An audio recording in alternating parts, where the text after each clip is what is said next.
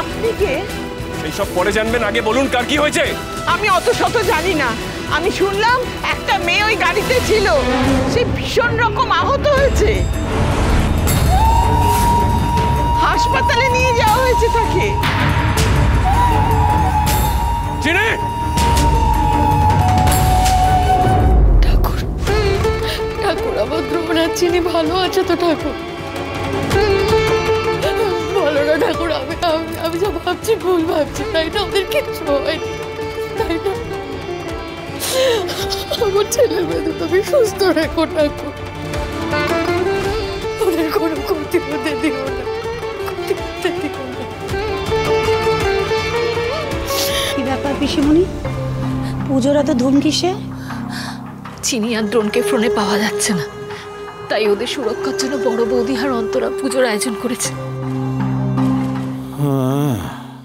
সুরক্ষা তো ওদের এতক্ষণে নষ্টই হয়ে গেছে।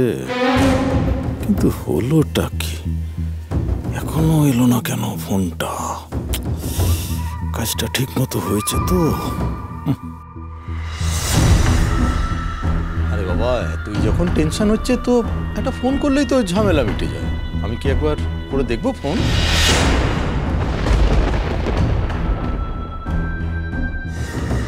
এদের এসব কাণ্ড দেখে হাসবো না কাঁদবো কিছুই বুঝতে পারছি না রে।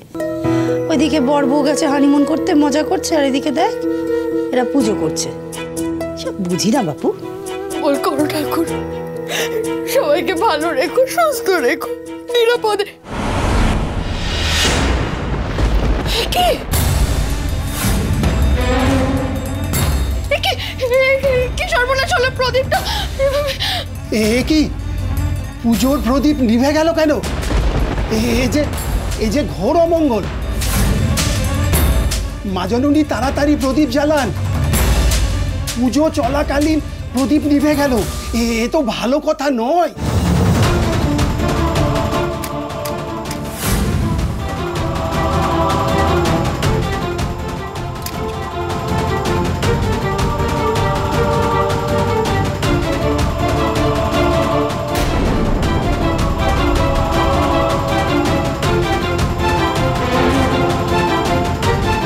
নিশ্চয়ই আমার চিনির কিছু হয়েছে।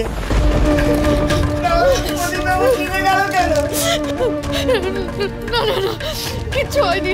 তুমি এত চিন্তা করো না ভূতনাথ কিচ্ছু হবে না। সব ভালো করো ঠাকুর সব ভালো করো। কি করছ কি অন্তরা? প্রদীপটা জ্বালাও।